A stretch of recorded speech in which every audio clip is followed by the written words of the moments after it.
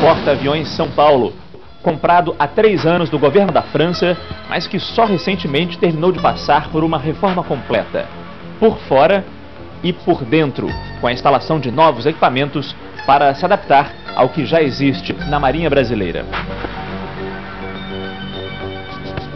O Espaço Aberto faz uma visita a esse gigante dos mares e mostra como foi a evolução da tecnologia que nos trouxe até os modernos porta-aviões. Do improviso e do risco das primeiras decolagens, até os poderosos porta-aviões movidos a energia nuclear, com jatos que atingem velocidades supersônicas.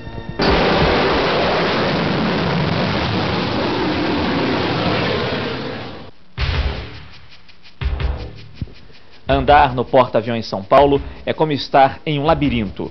Corredores enormes, escadas estreitas, grandes e pequenos compartimentos, milhares de quilômetros de cabos que se espalham pelo teto e pelas paredes. Aqui muita coisa ainda está em francês. Foi em setembro de 2000 que a Marinha Brasileira comprou o então Foch do governo da França. Construído entre os anos de 1957 e 60, com bandeira francesa, ele participou de missões importantes, como a Guerra da Bósnia e da Primeira Guerra do Golfo, em 1990. Foi depois de muita discussão que o Foch foi incorporado à nossa Marinha. Custou 12 milhões de dólares, um preço considerado muito baixo para um equipamento como esse. A grande dúvida era se o Brasil precisava realmente de um porta-aviões. O objetivo era substituir o ainda mais antigo Minas Gerais na nossa frota de guerra. Depois da compra, mais investimentos. Durante três meses, o São Paulo teve que passar por uma reforma que custou, segundo a Marinha, 7 milhões de reais. A casa de máquinas, a ponte de comando, a pista de pousos e decolagens. Tudo foi modernizado e testado em treinamentos no mar. O porta-aviões São Paulo tem a sua base no Arsenal de Marinha do Rio de Janeiro. Aqui, permanentemente, há serviço para ser feito. A tripulação é de 1.400 pessoas. Quando sai em missão, esse número aumenta para 2 mil tripulantes. Conhecer todos os compartimentos do São Paulo, um por dia, levaria mais de cinco anos. Nesta nossa visita, o guia será o comandante Monteiro Dias. Há 30 anos na Marinha, ele assumiu São Paulo em abril de 2002 dentro de um rodízio, ele fica dois anos no posto e depois passa o porta-aviões para outro oficial. A primeira parada é na ponte de comando. Acredito que essa seja uma das áreas mais protegidas, seguras do porta-aviões São Paulo. É, exatamente. Aqui é um, é, um, é um centro importante onde as decisões são tratadas, né? Nós temos aqui três estações, a torre, a manobra e o comando do navio propriamente dito é, se situam aqui. Essas três estações se situam aqui e se interagem é, constantemente, recebendo as informações do Centro de Operações de Combate, que nós iremos ver também. No momento de operação em alto mar, quantas pessoas trabalham aqui nessa ponte de comando? Cerca de 20 pessoas trabalham aqui normalmente é, nas três estações que nós estamos falando. A torre, o comando do navio e a manobra. E basicamente que instrumentos o senhor tem aqui para operar todo esse porta-aviões? Eu diria para você todos os instrumentos que eu desejo, que eu necessito para operar o, o porta-aviões. Todas as informações de radar, informações de comunicações, informações de diversas é, tomadas de é, câmeras aqui do, do, do, nosso navio. Nós temos todas as informações, informações por satélite, informações de diversas, todas as informações que nos permitem é, decidir a melhor maneira de operar um navio.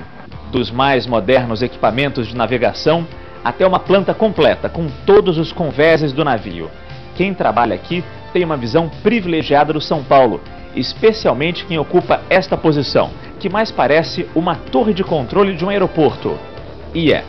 É nesta cadeira giratória que fica o chefe da aviação do porta-aviões São Paulo. Aqui ele controla as luzes das pistas de pouso e decolagem e através do rádio tem contato direto com os pilotos que pousam ou decolam aqui no porta-aviões. Comandante, com todo respeito à sua posição, mas quem senta aqui também tem muita responsabilidade. Exatamente. O chefe da aviação é diretamente responsável pela segurança das operações aéreas com helicópteros e avião. Consequentemente, a, a performance dele nessa cadeira dá uma tranquilidade muito grande para o comandante. O senhor fica em contato permanente com ele? Permanente, permanente. Não só é, por intermédio dos equipamentos de comunicação, mas com depois de um certo é, treinamento no mar, só pela, pelo olhar nós já nos entendemos. É por isso que o senhor não gosta de usar tal cortina que divide aqui as sessões? Exatamente, porque eu olhando é, para ele, ele olhando para mim, nós nos entendemos perfeitamente e sabemos efetivamente o qual a aflição de ambas as estações, do comando do navio ou mesmo da torre. Comando torre, solicito luz verde na torre para decolar Falcão 01. Afirmativo, luz verde na torre para decolagem de Falcão 01.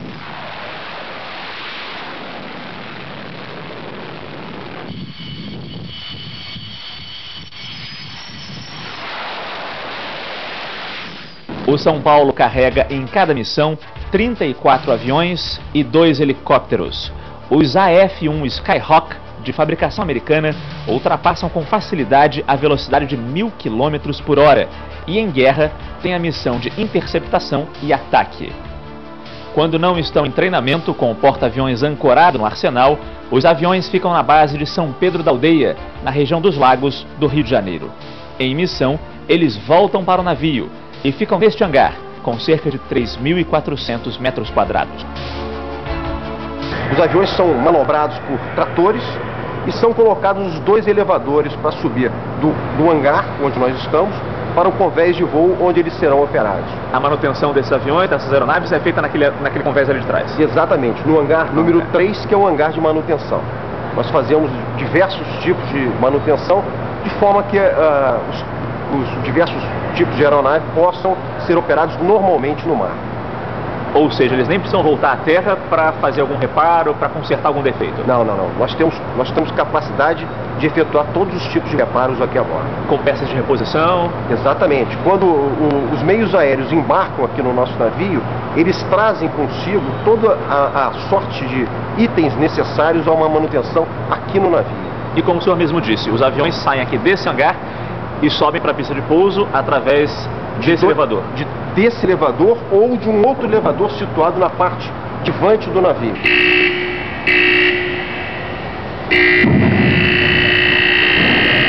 Está subindo devagar, né? Ele sobe muito rápido. Ele pode ser mais rápido, rápido que isso? Muito mais rápido que isso. Ele sobe bem rápido e você, você nem sente, né? E qual é a capacidade desse elevador, comandante? Esse elevador tem capacidade de 15 toneladas todo o navio foi dimensionado para cerca de 15 toneladas. As catapultas, o aparelho de parada que nós iremos ver, os elevadores, os guindastes do navio, tudo foi feito para cerca de 15 toneladas. Os aviões, os helicópteros que operam aqui, então, eles não podem passar de 15 toneladas? Não podem passar. E normalmente não passam, né? Nós compramos esses meios para que realmente possam ser adequados a esse, a esse navio. E esse cabo de aço baixando? Automaticamente para prover a segurança das pessoas para não caírem no fosso do elevador, é, pessoas que estejam andando no convés de voo. E o elevador, apesar de toda essa massa bruta que ele carrega e o próprio peso dele, ele consegue ficar no nível perfeito em relação à pista de pouso. Exatamente, é fundamental para isso, para as aeronaves passarem do, do, elevador propriamente dito, sem nenhum ressalto para o convés, convés de voo. Nesse ponto, as aeronaves já vão com força própria, ou tem um tratorzinho Não, não, um trator traz as aeronaves para cá e posicionam nos diversos é, locais que elas serão lançadas para o ar. São duas pistas de decolagem e uma de pouso, essa última em ângulo, como se saísse da principal. É possível fazer operações simultâneas de subida e de descida dos jatos. É o pouso o momento mais crítico a ser realizado em um porta-aviões. As marcações na pista e o sistema de luzes têm um papel fundamental. Esse é o sistema ótico de pouso que dá ao piloto uma rampa de descida.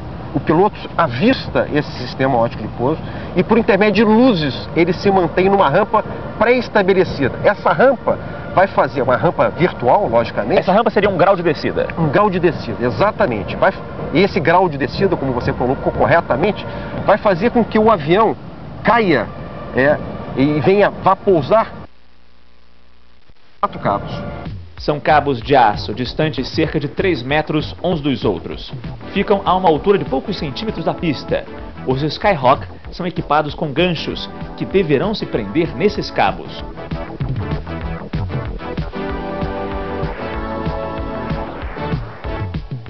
São quatro cabos independentes que fazem com que o avião, no momento do pouso, façam com que o, o, o, o gancho do avião se enganche num desses quatro cabos e faça a desaceleração do avião. O avião é, corre ainda um pouco a pista, o convés de voo, e passa para mais ou menos naquela marca branca denominada mira. Então é assim que se faz o pouso. O avião vem numa rampa de descida, pré-estabelecida por aquele equipamento, que é o sistema óptico de pouso, e faz o pouso normal, um pouso extremamente normal no nosso navio. Esse gancho tem como se fosse uma espécie de elástico. Porque se ele prendesse abruptamente também, acredito que o avião ia se espatifar aqui. Exatamente. É. Essa parte toda, ela se, ela se estica, como você bem disse. Há um sistema de roldanas aqui a bordo, que faz, esse sistema faz com que essa parte se desloque. Por isso que há essa parte redonda aqui, uh -huh. faça com que isso se estenda e faça a desaceleração normal do avião. Eu acredito que eu puxando com a mão não vou não, nem conseguir andar com De jeito nenhum, de jeito nenhum. É um sistema, é um sistema bruto, bastante bruto, forte e com precisão, uma precisão exatamente igual de um avião. Os aviões chegam ao navio a uma velocidade de 225 km por hora. Para reduzir isso, usa-se a mais simples lição de física. O pouso deve ser feito sempre contra o vento e com o navio em movimento. Com o São Paulo navegando a 50 km por hora e o vento correndo contra a uma média de 30 km por hora, esses dois valores têm que ser somados, 80 km por hora e descontados da velocidade do avião. Assim, na verdade, em relação à pista de pouso, o Skyhawk chega a 145 por hora. Ainda é arriscado, mas fica mais fácil realizar o pouso. E na hora de tocar a pista, o piloto tem que tomar mais um cuidado. Ele deve dar potência máxima nas turbinas. O avião tem que ter força para remeter, decolar de novo, caso não consiga se prender a um dos cabos. Perto do pouso, a decolagem feita com auxílio de duas catapultas é bem mais simples. O avião se localiza, é colocado aqui na, na, na catapulta, aquela parte é, amarela se desloca, desloca para ré, para perto de mim. E fica né? onde? E fica mais ou menos por aqui. Né? E é, essa parte é chamada de lançadeira. Essa lançadeira é colocada, ajustada no avião e impulsiona o avião com uma, uma determinada pressão, de forma que ele, ao final dos 53 metros de trilha da catapulta, ele ganhe sustentação para decolar. A que velocidade sai essa catapulta desse ponto? É cerca de 120 nós, mais ou menos. E em quilômetros por hora isso dá quanto? Seria cerca de 200 quilômetros por hora. E a isso se soma a potência também dos motores da turbina do avião? Exatamente. A potência do avião na hora do, da decolagem, ele está com a potência máxima soma-se a potência máxima à impulsão dada pela catapulta e mais, como eu falei anteriormente, o vento é produzido pelo navio e o vento real. Já que nós, nós aproamos o vento, há uma sustentação, o, a catapulta mais avião mais o vento dá uma sustentação adequada para que o avião possa é, decolar. Ou seja, a decolagem também é feita sempre contra o vento. Contra o vento, contra o vento e toda essa decolagem, tanto a decolagem como o pouso, são operações é, totalmente científicas. É, nós é, desenvolvemos boletins de lançamento e boletins de recolhimento que afiançam que aquela, aquela operação é a mais segura possível.